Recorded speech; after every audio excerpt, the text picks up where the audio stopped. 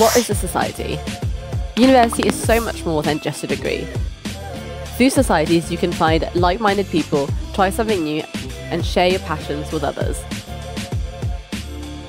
Societies are groups run by students that provide events and activities that students can take part in alongside their studies and make lifelong friends and memories.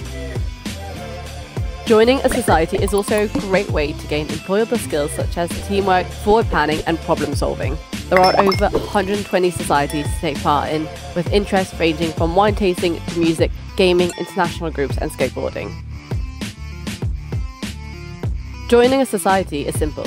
Once you have paid the single society's area membership fee, you are able to join as many of our societies as you wish by visiting their webpage on the SU Bath website.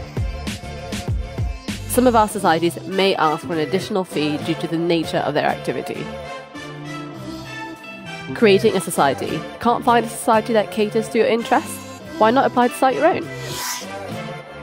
The process is simple. All you will need is a committee, a minimum of three students to be on your committee. These must include a chair and a treasurer. A brief overview, let us know what your society would be all about and what the purpose of starting this group would be. Your aims and objectives. Let us know how you plan to grow and develop your society and how your society aligns with the aims and goals of the wider SU. Example activities. What will your society be getting up to? What events will you hold? How will your society's events enrich the student community? Once you have the information needed, you can submit your application.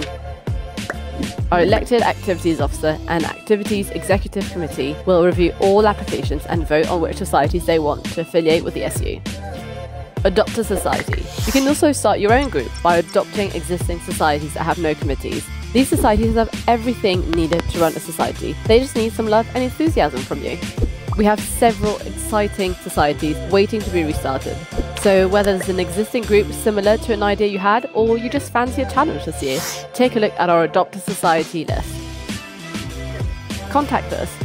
If you have any question or want to speak to a member of the Societies team, you can reach out to us at susocieties at bath.ac.uk to ask any questions or to arrange an in person or virtual meeting. We look forward to seeing all the amazing things societies get up to this year.